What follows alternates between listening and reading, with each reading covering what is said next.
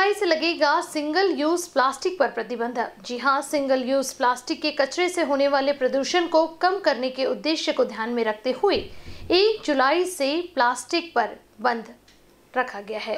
आपको बता दें कि सिंगल यूज़ प्लास्टिक यानी कि प्लास्टिक से बनी ऐसी चीज़ जिनका हम सिर्फ़ एक ही बार इस्तेमाल कर सकते हैं या फिर इस्तेमाल करके फेंक देते हैं, उससे पर्यावरण को काफ़ी नुकसान पहुँचता है। इतना ही नहीं तो ये हमारे लिए भी काफ़ी नुकसानदायक है। ये हमारे शरीर को बेहद नुकसान पहुंचाता है। बहरहाल, अब हम ये कह सकते हैं कि शुरुआत अच्छी है, लेकिन लड़ाई अभी काफ़ी लंबी है।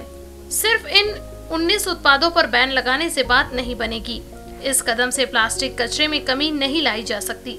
इसलिए ज़रूरी है कि हर इंसान पहल खुद से करे और पर्यावरण को सुरक्षित रखे। एनबीसी न्यूज़ के लिए कैमरा पर्सन अखिलेश भरद्वाज के साथ रूपा पंडित की रिपोर्ट।